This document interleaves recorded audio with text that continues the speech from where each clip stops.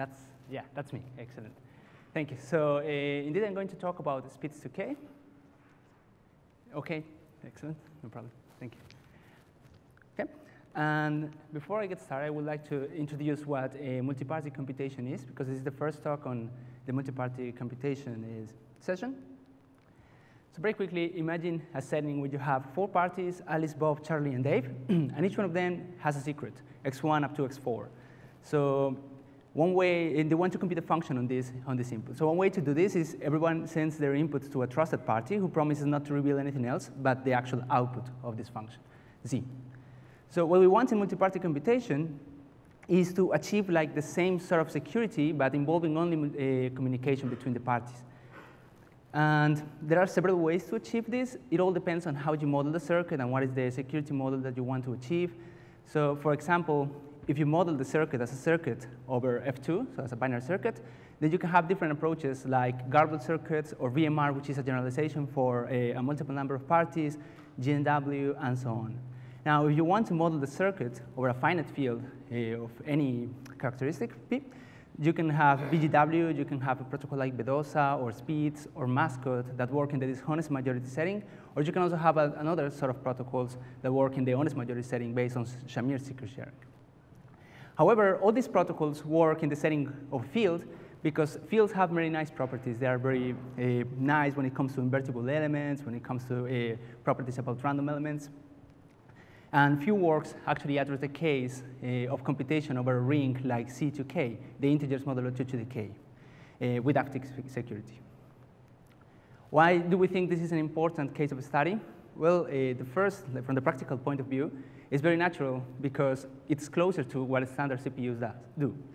So it's, it's very natural to think that if you do computation modulo 2 today, for example, 64 or 32, you're going to get an efficiency improvement because you don't need to reduce modulo p, for example, 2 to the 64 plus 13, which is a prime. Uh, you don't need to do this every time uh, that you're running your computation. Also, it allows you, if you already have a program written in C or in C++, for example, that uh, allows you to do some computation on data types that are a modulo 2 to the 32 or 2 to the 64, it should be easier to compile this type of program into a circuit if the, if the modulus is exactly the same. And finally, there are some functions that are very natural to implement uh, at the uh, modulo 2 to the some power, like bit decomposition, bit comparison, and so on. If there are functions that work at the level of bits. So if you have a protocol that works in this setting, it would be very natural to shift these uh, functions to a secure implementation. Also, from the theoretical point of view, it's a very interesting problem to study. So there is a gap in the theory of MPC. We know that we can compute absolutely everything because we have like every circuit, if it's over a field, it's complete. But if you are trying to emulate like a circuit modulo 2 to the k using a circuit modulo prime, you will always have this overhead of taking modulo all the time. So what we like to avoid is that what we like to show is, is a protocol that achieves this without this overhead. And of course, just for fun, it's like an interesting problem to take a look at. These rings are very strange compared to the fields, so it's like a lot of interesting properties arises from this work. Now, there are some works in this direction. We're not the first in taking a look at this. So uh, Cramer et al. in Eurocrypt 2003 they show a feasibility result that this is possible in the setting of honest majority. They, they, develop a protocol using only black box operations of the ring, so only addition and multiplication. We have also Bogdanov et al. in ESORICS uh, 2008 and Araki et al. in CCS 2016 who use replicated secret sharing, which is not dependent on the, of a field structure, to get computation over this field. However, it doesn't scale too well because it precisely is replicated secret sharing, and it only accepts one corruption. Finally, there is a, a, work that will be presented after mine, uh, which is a, a, compiler that takes a passively secure protocol that works over any ring and compiles it in an active one. So that is, suits perfectly in this setting. The problem is that the number of corruptions gets uh, lowered down by like a square root, sort of. So it's not like a very complete result in that sense. So why is it so difficult to develop a protocol in this setting? Well, many practical solutions uh, of dishonest majority MPC require the use of message authentication codes to make sure that everything is correct. And these things work very nicely over fields, but when you take them to this uh, ring setting, you have a lot of issues because you have like zero divisors, so numbers that multiply together gives you zero even though each number is non-zero. You have non-invertible elements, which is a very annoying issue. And you also have this interesting property, which is that taking the dot product is not a two universal hash function, which is something that is very standard over fields and we use all the time. So uh, it's been an open problem due to these uh, kind of issues of working over this ring to develop an efficient homomorphic authentication scheme uh, that is homomorphic over this setting. What do we achieve in this work? Well, it's precisely this question I just named. So uh, we develop a new additively homomorphic authentication scheme uh, over this ring. Uh, the solution is actually very simple when it comes to number theoretic tricks. So we use very elementary number theory, and also it's quite efficient, which is a, like a good feature. And we also perform a fine-grained analysis of the batch MAC checking, as I'm going to show later on on the slides. We also show how to generate triples uh, our computation will be in the preprocessing model, so we will need triples for, to handle the multiplication gates. We show how to generate those, and it's roughly twice, it involves roughly twice the communication of mascot, if you're familiar with the mascot protocol for this honest majority. And with these two tools and also another like small tools that we need to use, we can develop a protocol for this honest majority MPC over this ring. Our protocol is quite efficient. It, involves asymptotically the same operations that the parties will do if they are computing the circuit on the clear. So that's a nice feature. And it's also, uh, it's also expected to be quite efficient because we are doing our computations, uh, computations modulo 2 to the 32 or 2 to the 64, just to cite an example. Okay, so that's uh, roughly the introduction of what we achieved. I'm going to show how we did it, but uh, before that I need to start with SPDZ, which is the protocol where we base our protocol on top of. So this protocol is a protocol for dishonest majority, uh, and it works over fields. And basically, it goes as follows. So the key ingredient of the SPDZ protocol is something that we call uh, the secret sharing. So to secret share a value x, where x is an element of a field, what we do is that each party will have a share xi, such that the sum of these xi's gives you x. So this is an additive sharing of x. Uh, so if no more than n minus 1 parties get together, they won't learn anything about x unless they actually have all the shares. But on top of this, we also add an, uh, an authentication mechanism by means of this key, alpha. So we have alpha, which is a random global key, and they have also additive shares of this random global key. And finally, they have also additive shares of the tag of x. The tag is alpha times x. This will allow the parties to make sure that when something is open, uh, this value is indeed correct. Something important about this uh, scheme is that it's linear in the sense that if you have secret share of x, you have secret shares of y, and you want to compute secret shares of x plus y, it's just a matter of adding things locally, except the MAC key, because the MAC key is global. But you add the, the shares of the tag and the shares of the value, and that will give you shares of the sum. The same with multiplication by constant, and the same with uh, addition by constant. You can do these operations locally, which is already a nice feature of the, of the secret sharing scheme. And once you have this tool, getting a computation in the preprocessing model is not so hard. So the input phase, you need to preprocess some values. So for the input phase, you use random values Ri, such that party i knows the value Ri, and Ri is secret shared. And you open the value, so party i will open the value xi minus Ri, which is okay because Ri is random, so it, so it masks the input xi. And then they do this uh, local operation because of the properties of the secret sharing scheme to get shares of xi. So that secret shares the inputs of each party. Then you run through the circuit, computing gate by gate. Addition gates are for free because the scheme is linear. And multiplication gates are handled by, mean, by means of this nice trick, the Beaver's triple uh, trick, which is if you open x minus, if you have a triple, which is preprocessed and with secret shared, a, b, c, where c is equal to n times d, you can just open x minus a, open y minus b. This doesn't reveal anything about x and about y. And then you can, you, you can perform this affine operation uh, for free using the properties of the linear scheme, of the linear secret sharing scheme. Finally, you need to open things. You, as I said here, you have to open xi minus ri, you need to open x minus i, and, and, at the end you want to open the output also because you want to get the output of the computation. So what you do is that essentially each party announces their share, this is x1, this is x2, this is x3, this is x4, and then they just take the sum and that's x, because that's how x was constructed by uh, starting from the shares. Now the problem is that Alice can just choose to lie about, the, about, its share. You can say my share is not x1, but x1 plus 1. So that additive error is going to be reflected in the output at the very end, and we don't want that. So to avoid this kind of attacks, we actually show, uh, we actually use the tags that uh, were done directly, that were used uh, at the beginning. So party one is going to compute Z1 equal to the share of the tag minus the share of the MAC key times the value that was opened. The same with Z2, the same with Z3, the, the same with Z4. And they're going to announce these values. Okay, I didn't uh, mention this in the act. They'll commit before opening so that we know that all the shares are uh, unrelated. And then once they open this value, they check that the addition gives you zero. This should be the case because if you think about it, the, sum of the mi's is alpha times x by construction, and the sums of the alphas gives you alpha. It's the same x in all the operations, so it should be alpha times x minus alpha times x, and that should give you zero. Now, what happens if the adversary actually tries to cheat? We can show the following. So if an adversary tries to open an x prime that is not x, so x plus delta introduces an error, and also tries to lie about these uh, commitments, uh, about the MACs z, then we can show that the adversary knows uh, big delta and small delta such that delta times alpha gives you, equal, it gives you big delta. This can be seen as a, as a forgery to the actually underlying MACs scheme. And then you can solve for alpha, you can take the inverse of delta, and this gives you that alpha, uh, alpha is equal to delta inverse times big delta. So the adversary knows alpha, because the adversary knows everything on the right side. And since alpha was chosen uh, uniformly at random, the probability of this happening is 1 divided by the size of the field. And if the field is large enough, then we can show that this is negligible, which is essentially the security argument, the SPDZ and mascot, and other protocols of similar nature. I want you to notice that this doesn't translate directly on the setting of modulo 2 to the k, of integers modulo 2 to the k, simply because we cannot take the inverse of delta, because delta may not be invertible.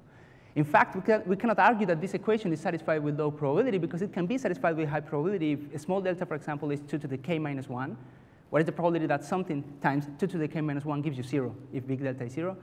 That something, that alpha only needs to be even. So it's one half probability of this equation being satisfied. So the adversary can cheat with high probability. So what do we do in SPDZ2k to overcome this issue? This sentence hopefully uh, summarizes it all. So the computation is going to be done in a larger ring, in z2 to the k plus s. For specific parameters, think of, think of k as 64 and s as another 64. So we're going to do the computation modulo 2 to the 128. However, the correctness is not going to be, to be guaranteed on this modulus. It's going to be guaranteed in a smaller modulus, say modulo 2 to the 64. So that's uh, the whole approach that we take. Uh, more precisely, so to share a value that is uh, in Z2 to the k, what we do is that we have, just like before, additive shares, but additive shares not of x, but of x prime. So we had additive shares of a value x prime. These shares are modulo 2 to the k plus s, but we actually care only about the lower k bits. So we know that x prime is going to be congruent to x modulo 2 to the k, not 2 to the k plus s. Other than that, it's essentially the same. So we have shares of the MAC key alpha. Uh, notice that alpha is in 2 to the s, not to the k plus s. We, as we will show in a minute, this is enough for the purposes. And also we have shares of the tag, just like before. So essentially everything is the same but uh, we are just considering the size of the shared value as, be, as being smaller, as being 2 to the k, not 2 to the k plus s. Why is that this, uh, sorry, this is the intuition about what is going on. So we have shares of x prime, this is x1, x2 up to xn, but we only care about the lower k bits, or only care in the final output. But the whole computation is done modulo to the k plus s. So why is this actually, why is that this actually help? So let's uh, perform the analysis that we did before in the field case, but now in the ring case. So suppose that there is an error. So the adversary opens an x prime that is not x, but it's x, x plus delta. So for it to be considered there an error, for it to be wrong, delta has to be non-zero, but not only non-zero, it has to be non-zero modulo 2 to the k. Because if it's 0 modulo 2 to the k, then maybe the adversary cheated in the upper s bits, but we don't care if the adversary cheats there. We only care if the adversary cheats in the lower k bits. So this error is non-zero modulo 2 to the k. Now, if the check passes, this equation is satisfied, just like before. Now, I'm going to try to convince you that if with these two conditions, actually the probability that this equation is satisfied is low, which is what we didn't have before, because before delta was large, delta was a, sorry, delta was non-zero modulo k plus s, but here is non-zero modulo k, 2 to the k, which is a, an additional property we have. So how does the analysis go? So we have alpha times delta equal to big delta, modulo 2 to the k plus s. What we know about these guys is that alpha is, not all of it is random, but the first s bits are random. I'm taking k to be equal to s here for simplicity. So we know this is the blue region, and we, what we also know about small delta is that small delta has some zeros on the less significant bits, but it doesn't have so many zeros. It has to face, it has to encounter one at some point below this uh, line here because it's non-zero modulo 2 to the k. Otherwise, it will be 0 modulo 2 to the k. So this red region has the property that the less significant bit is 1. And it's easy to see that big delta also has exactly the same shape. Then what we can do with this equation is just shift it down, divided by 2 to the v, where v is the number of zeros that we had in this lower region. So when you shift it down, everything goes down, the left side goes down, the right side goes down, and also the modulus goes down by v bits.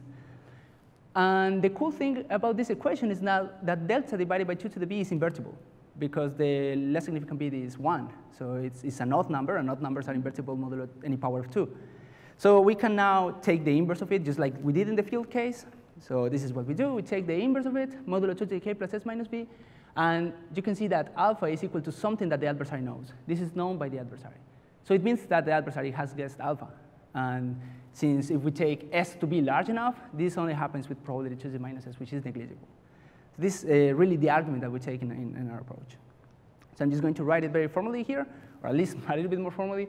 So you take and divide the equation by 2 to the v, where v is the largest integer that divides a small delta. Now delta divided by 2 to the v is invertible. You can send it to the other side, and then alpha was guessed.